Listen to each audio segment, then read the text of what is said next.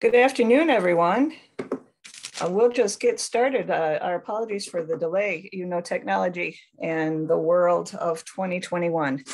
Um, my name is Nancy Brozick, and I'm the Director of Development and Communications for the North Association.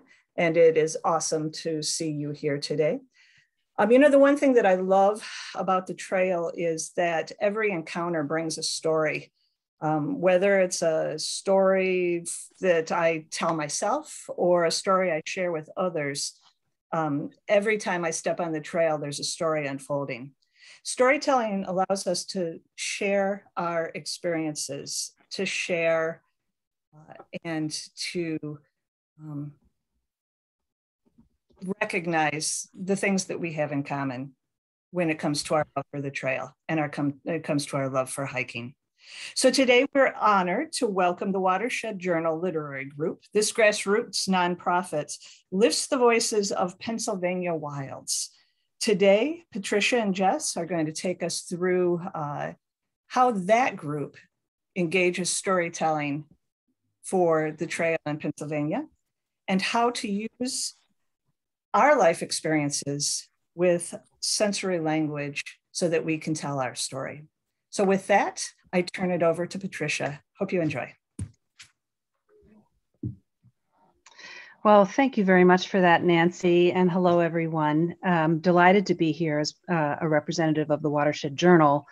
Uh, storytelling is in our DNA. It's really the reason why the journal was started, and ancillary groups like the Writers Block Party that are associated with the journal. And, and Jess Weibel holding up uh, the latest copy of the Watershed uh, with the pictures of uh, mushrooms, um, something I know a lot of you probably look for while you're hiking. Uh, she, of course, has been a major uh, driver of the journal and the, the writers group, and you'll hear more from her. So, uh, Abby, or if you can put up my slide, um, slides, uh, let me talk a little bit about this first 20 minutes or so. Uh, I'm going to be talking about sensory language in nature poetry. And my hope is that, uh, like Nancy was saying, by the end of this 20 minutes or so, you'll be inspired to write about your trail experiences and that you'll tap into the power of sensory language. And I'm going to talk a little bit about just what that power means. Um, we're talking about three of my favorite things poetry, the beauty of Northern Appalachia or, or um, Western Pennsylvania, and hiking. So if we go to the next slide, um, this uh, deck is primarily taken from a book that I wrote and published earlier this year. Um, and it's just easier for me to use my own work. You can imagine permissions and everything else being what they are. So the book was called Sanctity, and it's unabashedly a book of nature poetry. Um, and I published it, you know, during a very trying time for all of us. All of us. COVID was in full swing still is, of course. And um, the point of the book was to bring the solace and sanctuary that being in the woods and on the trail can bring. So that's the source of the poetry. So if you go to the next slide, I just wanted to make a comment about uh, along what Nancy said, how storytelling weaves in with our experiences and how sensory language can be brought to bear as we tell those stories. So, this is what happens to me. This poem really um, is, is a perfect example of what happens to me while I'm writing. It's called How Much More Beautiful. How much more beautiful than the tinny chatter in my head is the wind in the oaks. A dove croons, a junco flits. I walk in beauty, and even my footsteps seem too loud. The vireo scolds me, Here I am. The thrush warbles, It is June. The woods say, Quiet, mind, be still. And I am stunned into peace. This is what happens to me routinely on the trail. And this is the moment I hope you'll feel enticed to capture when you're out in our beautiful woods. So the next slide is um, an important one because I think we should define sensory language. it's an academic term, and there are others, figurative language, there are devices like metaphor and simile. So, just that we all think the same way through the next uh, time together, I, wanted to define this with you. So, we experience the world through our senses seeing, touching, hearing, smelling, tasting. And those are very powerful avenues of connection. Sensory language deliberately is the deliberate use of words associated with one or more of our senses because that will deepen the engagement your reader has as they read what you wrote, your story. And so it's certainly important in all types of writing fiction, even nonfiction, uh, even academic fiction. But nature poetry is particularly enhanced by sensory language. In fact, there are studies that show the brain fires differently when reading sensory language as opposed to the dry discourse of academia. And the, it's interesting, the, the industry that has done the most studying of this is actually advertising. The difference in the way you'll respond to advertising if sensory language is used versus you know the drier language of um, of academia or some other other means. So keep that in mind as we go forward. Remember the power of sensory language. So the next slide, let's start with seeing. Um, sight is the power of imagery. Imagery is the visually descriptive language that appeals to the sense of sight. Words related to sight indicate colors, shape, or appearance. For example, gloomy, dazzling, bright, foggy, gigantic. I mean, the list goes on and on. And images can actually become metaphors that further create emotion in the reader. So they're not just descriptive in and of themselves, but they're evocative. And a hike in early morning can become a poem filled with the images of late summer. So at the next slide, I have an example of a poem from Sanctity that is exactly along these lines. It's called The Path. There's a path that runs to the east, the grass grown up from neglect, only the faintest denting from deer moving during the night. On certain days, the drifting sun rises directly there, the light slithering along the weedy heads of seed, through the trees, reaching me as I wait like a sacrifice in the temple a line to catch the golden snake, or a priestess at Newgrange praying as the solstice sun pierces the passage to anoint the dead. I wait. The trees aflame above, the ground glowing from burnished leaves, the sky growing brighter, the light's shaft coiling, ready to crack open my heart. So in that poem, I used a lot of imagery, a lot of words that that appeal to the reader's sense of sight. The next slide moves on to the next sense I want to explore with you, and that is the power of texture through touch. When you're hiking, uh, obviously you'll you know your sense of sight is is is in, is inflamed as I as I said in the path, but but we touch things too. We touch the bark of trees. You know, we may examine a, t- a, a mushroom. We may lean over and brush against a, a leaf. We may pick up an acorn from the the ground. And while we hike with a, a sense of of of leave no trace, nev- nevertheless, touch is an important part of the experience even the wind blowing against your your arms can be part of this so evoking touch brings your reader into your scene in a deeply intimate way touch is probably the most intimate of the senses and naturally words that relate to touch describe textures and you can describe them use them to describe feelings and abstract concepts too like gritty gritty can be something that feels gritty, but also gritty can be some sense of perseverance or, or strength or courage. Cr- other words like creepy, slimy, fluff, sticky, there's a host of words that will immediately engage your reader's sense of touch. So, as you scramble over rocks and roots on a trail, you touch the bark of a tree, all of that can be recalled in your scene through the sense of, of touch and using these words. So, I wrote a poem, it's on the next slide, called Bouldering and that's uh, my son and and uh, nephew and grandnephew there on top of a boulder they had just climbed.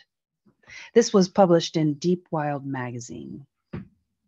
Your breath, your heartbeat quicken. The boulder you chose, or did it choose you? Fractured by freeze and thaw, tumbled by time to squat here, its crevices waiting you study its secrets, height and bulge, the mossiness of it, the rootless lichens, the snake-like roots of small trees tangled like lovers. The old pitted sandstone skin you expect will be cold, but is dry, warm, even in shadow. It awaits your hands, ready to caress, to probe, dusted with desire. So that's a poem that uses the sense of touch. You know, a bol- someone about to climb a boulder, they've dusted their hands with chalk, they're about to stick their fingers in those crevices. That that actually was Beartown Rocks, by the way. So next, I'm going to move on to the power of mimicry, and that's appealing to the sense of sound.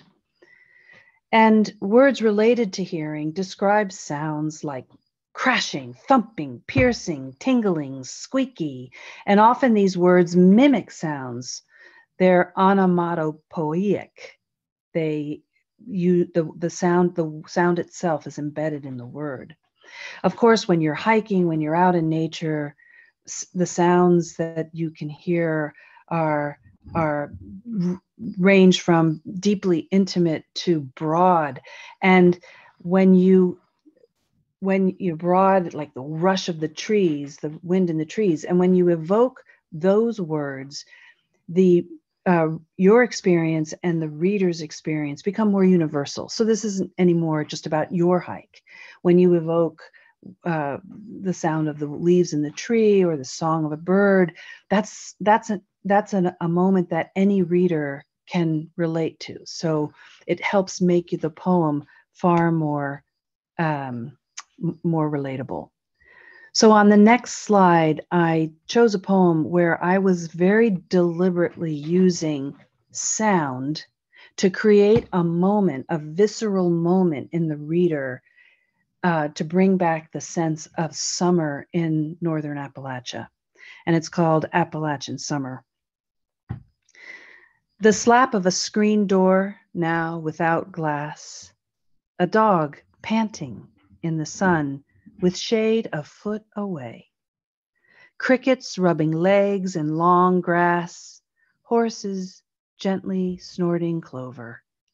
A robin's warble near its nest. Tree branches rustling. The hum of a faraway mower. Ice rattling in a pitcher of tea bare feet thudding on the porch, the squeak of a swing, distant thunder. So that's Appalachian summer, or however you say it. Maybe some of you say Appalachian summer.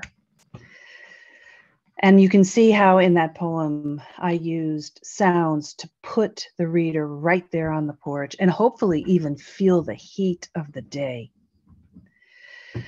Smell is the next um, sensory uh, uh, sense that I'd like to explore. Um, and it's the power of memory. Smells and memory, I think you all know this, are immediately linked. If you walk into a, a, a bakery and smell bread, it might take you right back to your grandmother's kitchen, for example. These are words like aromatic, fetid, fragrant, musty, pungent, and spicy. And sometimes the words related to smell are very similar to words related to taste, which we'll explore in a moment. And of course, together, taste and smell are tantamount to what we experience when it comes to food, when it comes to experiencing, you know, the sea or other places, or certainly the forest.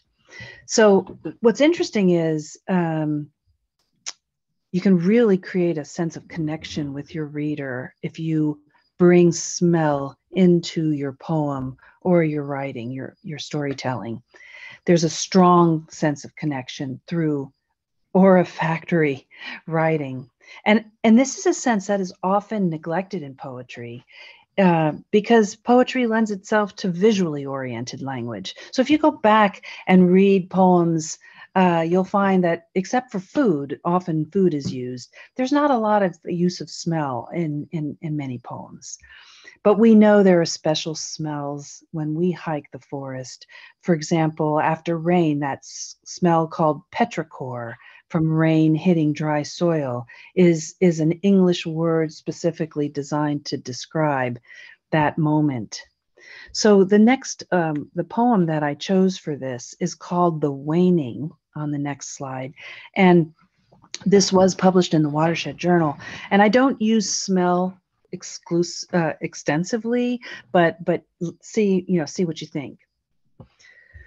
Lie in the grass as the sun sinks, the stars swimming into your ken, soft wings of moths brushing your arms, the perfume of primroses.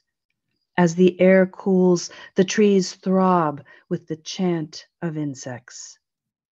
Lie as the dew pearls your face, the buck steps near to graze, the owl calls from a distance.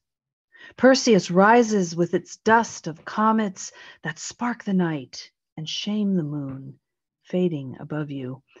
You could lie here tonight for all the breadth of time. You, the chanting insects, the dust of comets, the owl, and the waning eternal moon.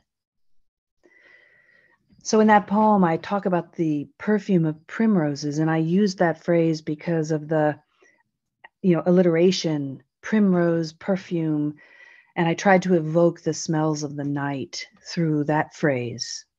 And uh, I hope you experiment even more with smell uh, when you think about hiking and writing about it. And so that brings us to taste.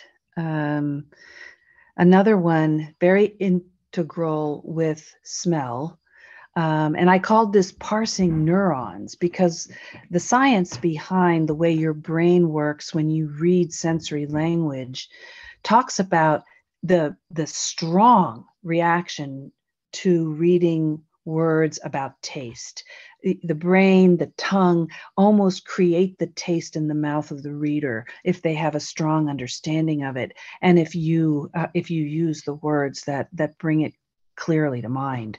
So words like bitter, creamy, gingery, luscious, peppery, or on the negative side, nauseating or salty, all of these fire the neurons in the reader's brain associated with taste and it deepens the reader's connection with that moment. It's one of the most powerful ways to bring your reader into your moment. And food being you know associated so closely with taste food is especially powerful because it has cultural and linguistics and physical properties that are that are so immediate to the reader back in grandma's kitchen back at the thanksgiving table uh, back around the campfire, trying uh, having s'mores, um, eat, eating the you know the dried food that someone's packed for a long through hike. All of these are intensely um, intimate and bring memories flooding back to the reader as they read your story. So I, I chose a poem called The Gift on the next slide to illustrate a little of this. In this case, sometimes even the name of the food itself, a mushroom, a, a lettuce leaf, can create that sense of taste, um, even if the language you use to describe it is simple. So this is called the gift. In the woods, cutting sprays for the porch lamps, lit with solstice coming on, the air fresh, weeks of snow lately gone, in the last few warmer days. My hands sticky, brown with sap and scented with pine. On a whim, I walk to the garden. Across the soaked, spongy grass, and there the thyme is lush, and sage supple, young arugula ready for an unexpected winter salad. At that moment, I stop and breathe deep in wonder for green things that find shelter under snow to delight me on a day when I expected nothing. And I'm sorry, nothing may be cut off there. So that's the gift. And, and here I'm using taste through the herbs that I mention, the arugula I mention. I don't actually describe them as much as count on them to bring that sense of taste to the reader. So those are the four, the five senses, um, and I I want to stop there. And on the next slide, I actually have a poem that I didn't write that I'll read in a moment. But let me let me stop for a moment and ask um, Abby, Nancy. I'm not sure if we're taking questions or how we want to uh, how we want to do that before I before I conclude. You're more than welcome to do questions if there's any, and then I can re-show that poem too when you're ready. Yeah. Any questions or comments um, as we did that whirlwind tour of sensory language um, and, and those examples? Um, I was just wondering, and I may have missed, you may have said, did you take the photographs that are with your poems? I did. Those are those are my photographs, and those are mostly taken in Cook Forest or in Clear Creek State Park. You know, I it's funny, I moved here nine years ago and I knew about the Baker Trail because I lived in northern Pittsburgh and I would come across it, but I knew nothing about the North Country Trail. And I kept driving down Miola Road and seeing the trailhead and say, what is this North Country? I mean, of course, I knew about the Appalachian Trail. I mean, who doesn't? And I read Bill Bryson's book, you know, but I didn't know anything about North Country Trail. And we kept seeing the trailhead. I said, what is this? And when I looked into it, I was amazed to find that there are 4,000 plus miles of trail coming right through northwestern Pennsylvania. So we started spending some time on the trail and then um, uh, adding it to our forays. So yes, all these pictures are from the trails around here, or that's my horse and, you know, my garden. They're poetic photographs. Thanks. Well, the, you know, our, we're so fortunate because the trails around here and our parks and our, uh, the, you know, and our, the Pennsylvania wilds, they just, it, they just deliver that beauty to us. I just point and click sometimes, you know. Any other questions though? Thanks for that. I have a quick question.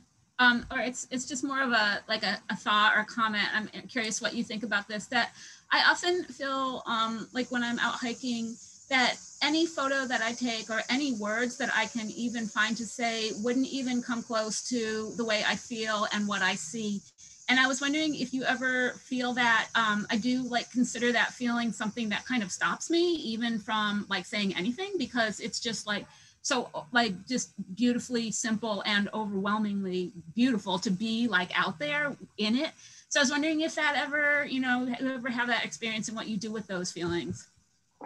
Yeah, that's that is a great great question. Um, you're you're essentially talking about the humility that we all have to have when approaching, you know, the beauty that we're we're surrounded with, and also the humility that comes from the fact that not everyone has access to this. Some people never have access to it. I mean, I read somewhere that you know folks that live in in the city for example with all the light pollution may never really see the moon the way we see it as a simple example all I can tell you is to tap into that emotion. That emotion is you. That emotion is real. And so that you can write about. D- don't try to describe, you know, the rays through the trees better than anybody ever else has. I mean, that's, you know, there are some, there are people writing nature poetry everywhere for good reason. But you are that hiker in that moment and you are having those emotions. And that's what you want to tap into. And if you marry that sense of emotion with what you're seeing, your reader will be right there with you. Thank you.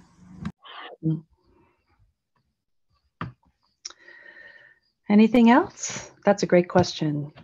We're so lucky. Well, let me read this last poem because um, I actually wanted to share that, you know, we're not the only ones who are in love with this area. One of the nature poets that most influences me is Mary Oliver. And she she passed away not long ago. She has a, a, a huge body of work. She has been true to that emotion and connecting nature to the human condition and human emotion for decades. And she actually wrote a poem about the Clarion River. And this is an excerpt. She's actually, I believe, uh, she was from New England, if I recall correctly. So she wasn't from this area, obviously. But I wanted to share this with you because it just shows how how the beauty of of our region uh, Clarion County. And of course, the trail goes along the Clarion. The Clarion plays a huge role in the beauty of our area and the ecosystem of our area. It just goes to show how it can impact uh, a visitor. So, this is an excerpt from a much longer poem called At the River Clarion by Mary Oliver. I don't know who God is exactly, but I'll tell you this. I was sitting in the river named Clarion on a water splashed stone, and all afternoon I listened to the voices of the river talking. Whenever the water struck a stone, it had something to say, and the water itself, and even the mosses trailing under the water. And slowly, very slowly, it became clear to me what they were saying. Said the river, I am part of holiness. And I too, said the stone, and I too, whispered the moss beneath the water. So that's um, that's the end of of my presentation, and um, I believe I'm turning it over to Jess. But thank you for your time. And uh, I look forward to hearing about your reading. Maybe you'll submit them to the Watershed Journal, uh, which we would love to see. So thank you again, and I'll turn it over to Jess.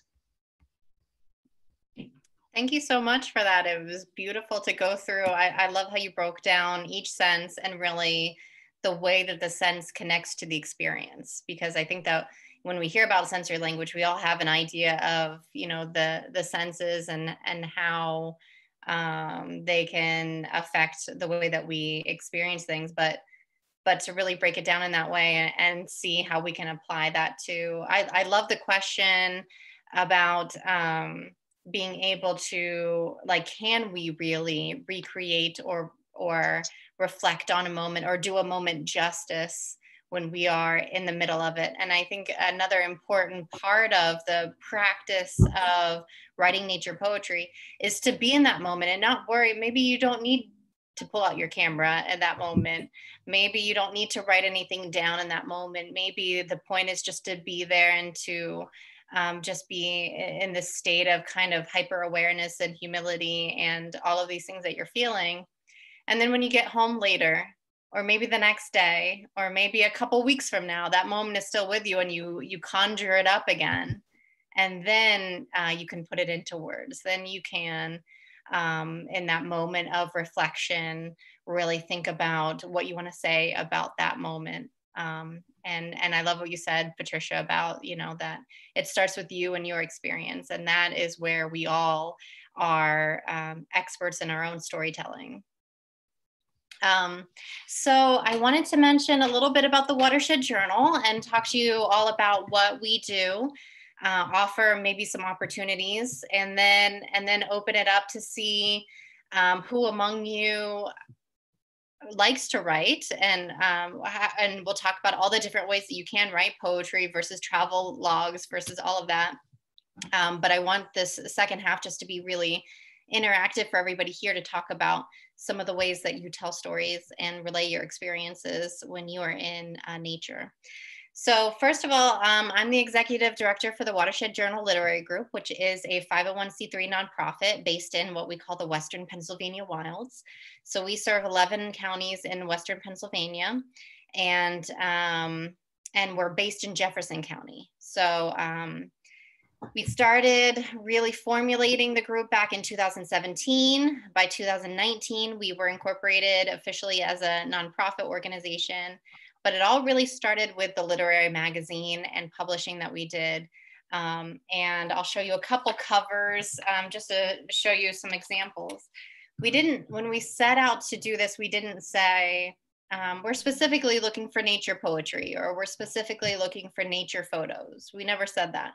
But uh, a lot of what we got were was exactly that because, um, and I know my experience moving here about five years ago, um, when I went hiking, I didn't expect, or just even walking around my house um, outside, I didn't expect that I would so often have the urge to take a picture of what I was seeing or write about what. There's just something about it, and I know I'm preaching to the choir on this, but there's something about, you know, um, this area and and the areas where you know nature is allowed to have a strong foothold where um where the beauty just overwhelms you and you have to uh, you have to be a part of it uh, you have to be mindful of it and it, and it stays with you so we have um, an edition every quarter and they go seasonally so uh, this is our most recent winter edition um, and spring and then um, I showed that this is our uh, most recent summer edition.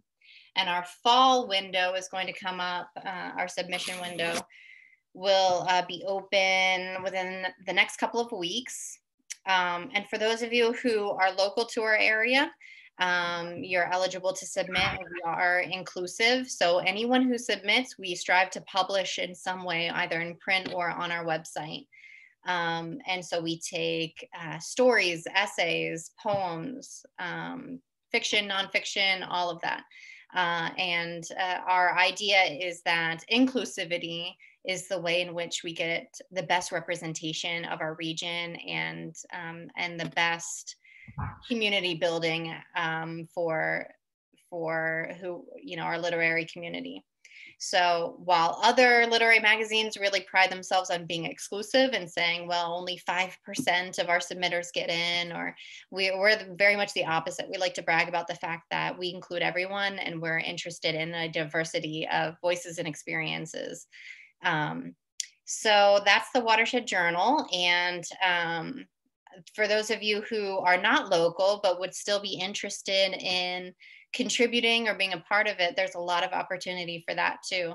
Uh, in fact, we take photographs um, often from submitters outside of our region because we love having a variety of images to work with. Um, Patricia in her book did a beautiful job of pairing pictures that she had taken with poetry that she had written. Um, for the journal, we do that pairing and we really enjoy that aspect of it where we will take a story let's say and put something visual with it that might bring out something new that might be unexpected um, or give a fresh take on what the author was intending.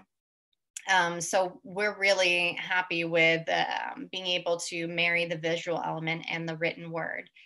Um, and also artwork. We do take original artwork so um, paintings or um, pictures of sculptures or whatever it is, mosaics. We once had a, a beautiful mosaic on the cover of a magazine.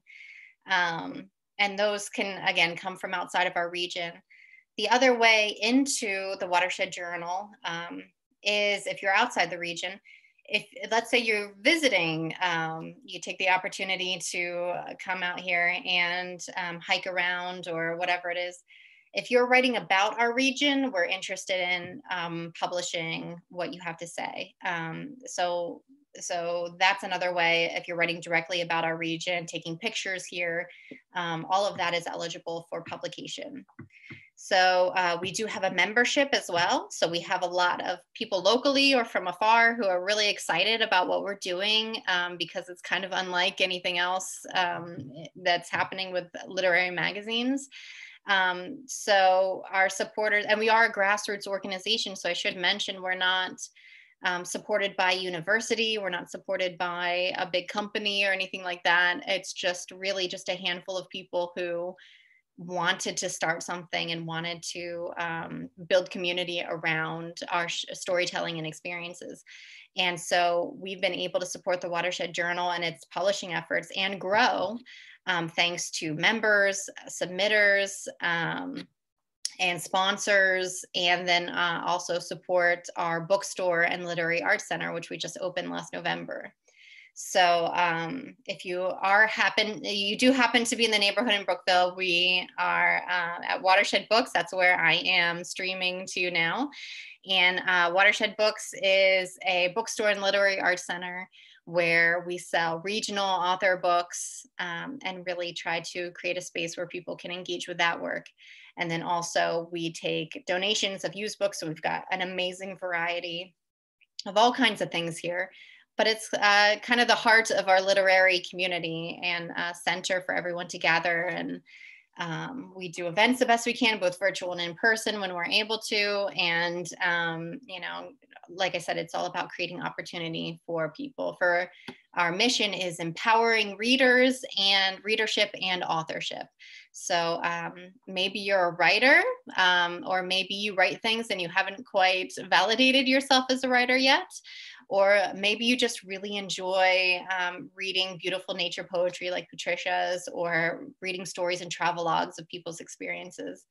Um, but at this point, I would love to hear from the participants today and um, to hear about perhaps your experiences with writing, what's your comfort level with writing, and uh, who among you has that impulse that when you are out and about you know in a moment that really is overwhelming or beautiful or moving or resonates with you you have that impulse to put it into the written word and um, keep it with you. Yeah i would love to uh, start out the discussion with maybe a question uh, for your for the watershed group. Uh, i i'm not a hiker but my husband was and I'm finally going through some of his things. He died five years ago. And uh, down in the garage, I found a file cabinet, a tall file cabinet. And apparently that was his hiking file cabinet. So I've been going through some of his things in it and discovered how meticulous he was about all the trails he had hiked and when he did them how many miles for each segment who he was with. And uh, last night I was reading something he had written uh, afterward about uh, being shot at while he was on the trail. And uh, it was just fascinating reading. So I'm curious whether you, you know, I could envision having something called Dead Man Walking, where I have all my husband's trail hikes, which, and he wrote reams about his hiking. So do you, what would you think about having interesting reading, but not firsthand, but posthumously maybe published by somebody. Uh, what's that? How does that stand stand with you? Yeah, no, you? we are very mm-hmm. much all about supporting people in their publishing journeys, and so that can take a lot of different shapes and a lot of ways. The way that we offer in terms of publishing manuscripts, for example, um, we do a cooperative publishing. We just started this last year where um, we are able to support one book per year. So we do a call for uh, submissions. You submit manuscripts to the Watershed Journal, and um, and then we have a publishing committee. Um, a, a, university professor from Clarion University, another from Penn State Du Bois, and then um, another local writer and a few people from the Watershed Journal Literary Group. Um, so we get together, we read through the manuscripts, we make our selection. Since we're limited, we can only do one per year in terms of our budget and uh, bandwidth because we are an all volunteer effort. So nobody's getting paid to do anything here, but we just do it because we love it. Um, so so when that comes out, we choose, and we just now um, made our selection for 2021. Um, a book that we're really excited about. Uh, so in the preliminary stages of working with the author and securing contracts and all that kind of thing. And uh, then we'll be debuting that. But it is um, something that is uh, open and an opportunity for, again, um, meeting our requirements in terms of the regional aspect and um, all of that. But uh, we hope to do another call for submissions next year. Um, probably around late winter time. Uh, so if uh, there's a, that's the option to publish through us.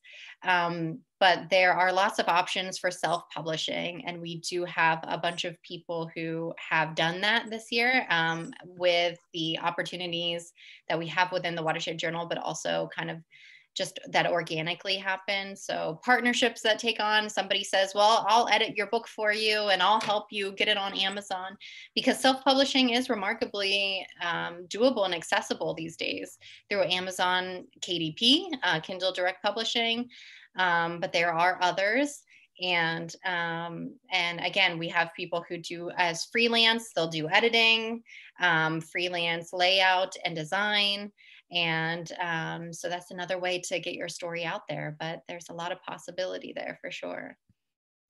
Hey and jess you know uh, just to add to that though if if there was one story that really struck um, struck her when she was reading her husband's notes she could submit that to the journal as a standalone essay. I mean we you know uh, I, we, I think our you know limitation is 1500 words. Am i right about Print. that jess yeah, for print. print. But I'm so glad you said that because if you're not local in particular, our print distribution is hyper local. We don't really, unless you're a member, um, members we mail out, but otherwise um, we're not in every, you know, Barnes and Noble or anything like that. So um, but we do publish on our website, and there are two ways to do that. One would be online exclusives. So I'm sending something in, and this goes for everyone. If you have something that you'd like to send in during our submission window, again, uh, in a couple weeks, we'll have it open for the fall. You just go to the watershedjournal.org. Um, that's on our little thing here, watershedjournal.org, and um, you can submit your uh, your work to us via email. But also, we have a blog too, um, and the blog we publish regularly. So um, if you had something that again was a reflection or an essay or or this found um, story that you want to share with uh, more broadly the blog is a wonderful way to do that because you can share it online and it, um, it's something that can really transcend our uh, proximity limitations. Okay sounds good. Yeah lots of opportunity and that's it does sound like a wonderful wealth of uh, storytelling that you and i'm in slippery rock but jefferson county where is where is that's not I, you're in Western PA, but not close to Butler County. Where is Jefferson? Yeah, we are um, between like Du Bois and Clarion, so it's more of a north okay. uh, western to you. Mm-hmm. Yeah. Anyone else who uh, enjoys writing or um, has, um, you know, questions about what we do in particular? Any other writers out there?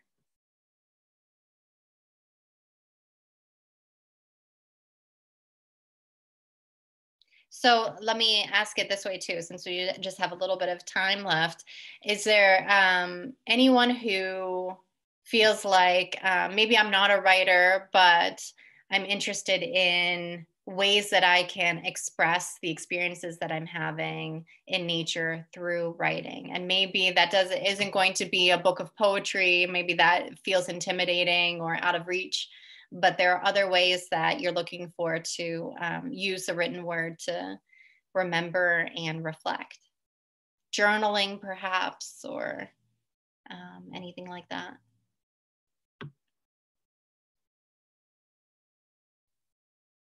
Yeah, I I don't mean to dominate the the chat time here, but I also I actually do enjoy writing myself, even though I was not a hiker and am not a hiker. But on one of these earlier um, broadcasts during the annual conference, I know it was said the first five minutes are the hardest. and so I've thought, well, maybe I should just go over to Moraine State Park and hike for a half an hour or something, and then I might be able to write about my hiking experience. Um, but I do lead a, a, book club of my own, and uh, I'm in two others, so I love reading. And I've told my clubbers that I would love to be an author someday, and so I have that impulse, as you called it, and um, so I'm always on the lookout for things that I feel or see and and how I might be able to to but but the most I've done so far is make up a title to my book. Mm. so I have a ways to go. Well, I, the, what I love about what you're um, experiencing there is that, you know, nature and being in nature and um, whether it's a Bill Bryson, like fish out of water type of situation, or whether it's somebody who is, you know, like for example, uh, we had a first time submitter to the Watershed Journal uh, a few editions ago. And I used to do a podcast where I would interview new submitters, and um, it's on our website. Uh, Robert Clayson, I think is his name. Um, and you can uh, look up his episode on our website there if you if you're interested. But he was just wonderful because um, he is, I think he was a firefighter. Uh, he was in in a very rural part of like Elk County here, and um, and he worked outdoors a lot. And he was a, he's very much like a um, a woodsman, you know, a, a nature kind of guy, naturalist. And um, he wrote a poem and submitted it was called heartwood to the watershed journal it was just talk about simply beautiful it was just a simply beautiful and beautifully simple poem and um, and as it turned out, as I interviewed him, I found out that was the first poem that he ever wrote in his life. And he submitted it to the Watershed Journal and saw it, you know, in print and in publication. And it was so gratifying to him to to see that process and to see that connection that he had with people through publishing that poem. And uh, I don't think he would have called himself a writer. I don't think that he would have known or even really anticipated that that's something that he would ever do in life. But he just had this moment of chopping wood and you know the, the he went actually to a poetry uh, kind of happened upon this poetry and patricia you'll remember uh, meeting him i think um, at that poetry reading. And he was just kind of moved by it. So I would love to, uh, you know, a couple weeks from now, hear from someone who went to this uh, meeting today and heard Patricia's work and thought, oh, you know, later uh, being outside or on a hike or whatever, um, the moment of, yeah, I can do this. This is something that uh, it's for me too. It's not just for those poets over there. It's for me to be able to share my experience with the world. I'd love to hear from one of you um, that you wrote your very first poem, maybe uh, in a moment like that. Yeah, Jess, I'll also add, if I may, uh, to anyone who's thinking about um, writing more, look for writers' groups, people who meet and encourage one another, read their work and get feedback. There are writer workshops. We give a workshop um, every quarter in Brookville, Pennsylvania, which may be too far for someone from Slippery Rock, but we've also done some things um, uh, through Zoom or, or virtually like this. So, uh, you know meeting other people who are writing uh, you know just really help inspire can really help inspire you and embolden you and and you know helps you realize that it is it's it's not something you need a you know you need any special uh, dispensation to do. And if you're a if you're a a, a reader huh, that's so important you know every time you read you're informing your your own vocabulary and your own sense of our language and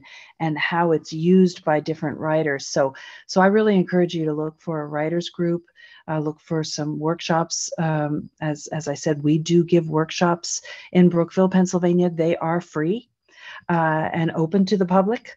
Uh, you just have to watch our event page to see when our next uh, workshop might be and look for ways that you can build a community around you to support you as a writer.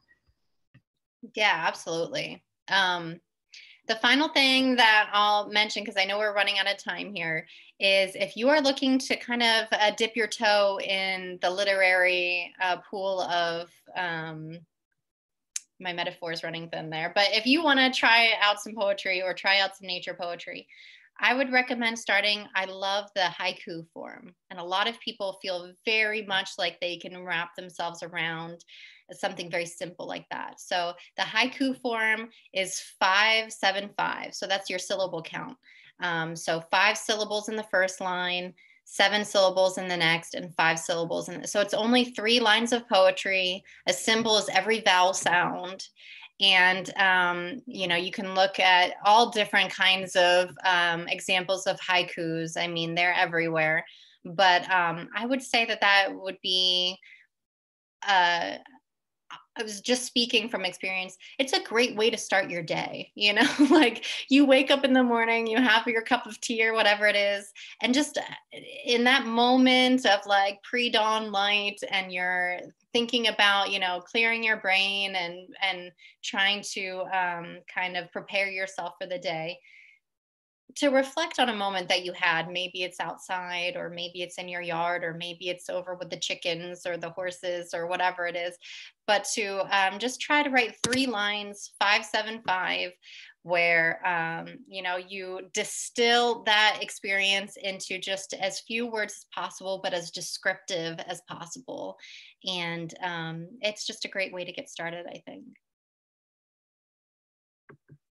Um, so I want to thank Abby and Nancy for having us here. Um, this is a wonderful initiative that you guys are doing, and I know that you've hit some bumps in the road as as we all have with planning events. But I think you've done an incredible job still bringing people together, and uh, that's what it's all about. So thank you for doing what you do. Well, thank you. Thank you, Jess and Patricia. We greatly appreciate it. Like I said, I'm not um, an avid writer, but I'm kind of, after hearing that, I kind of feel like I I, I wrote down the 575. So I can, I can take that to practice um, and see. I mean, you never know. Maybe I'll be submitting something too um, to the journal. We'll see. So I, I greatly appreciate this uh, presentation and uh, thank you for everyone for taking time out on your Sunday as well. Um, again, everything we do is recorded so um, if you know someone that missed it and want to see it, it's going to be on the North Country Trails website. Um, and then again, tomorrow we have another event as well because celebration is still going till uh, this Wednesday, the 18th. But tomorrow at 1 p.m. Eastern, we have the Hiker Stories panel. Um, so we hope that you can come and join us for that event as well at 1 p.m. Eastern. So, but thank you again uh, for taking time out of your day and enlightening us on everything. Thank you so much. Thanks, everyone. Have a good Thank weekend. You.